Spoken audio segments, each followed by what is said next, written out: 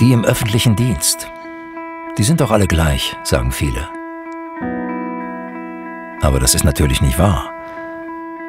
Es gibt die Rechner und Prüfer und die Aufpasser. Die, die erziehen und die, die heilen und pflegen. Es gibt die Unerschrockenen und die Unermüdlichen.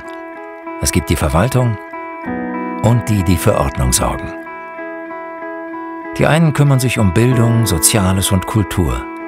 Die anderen schützen Umwelt und Verbraucher. So unterschiedlich wie die Aufgaben des Staates sind auch die Aufgaben der Menschen. Herzlich willkommen. Wir wollen uns heute etwas besser kennenlernen. Deswegen werde ich euch jetzt einige Fragen stellen. Wer von euch singt unter der Dusche?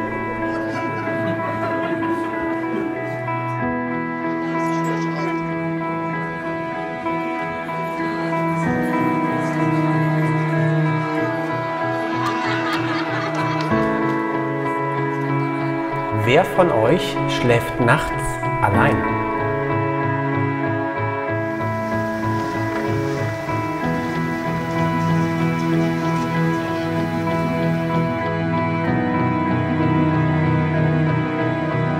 Und plötzlich sehen wir, was uns miteinander verbindet.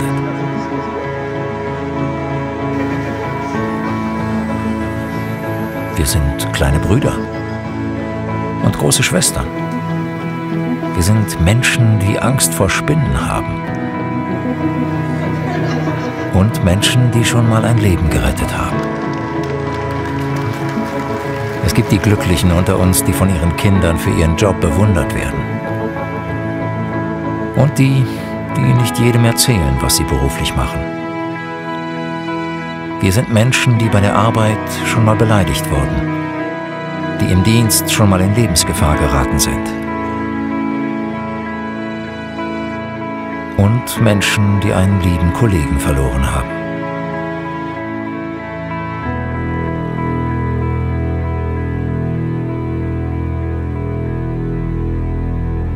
Wir sind Menschen, die montags gerne zum Dienst gehen. Die an die Liebe auf den ersten Blick glauben. Die schon als Kind wussten, was sie mal werden wollen.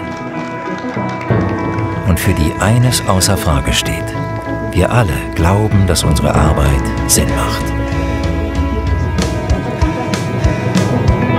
Vielleicht haben also diejenigen doch recht, die sagen, die im öffentlichen Dienst, die sind doch alle gleich.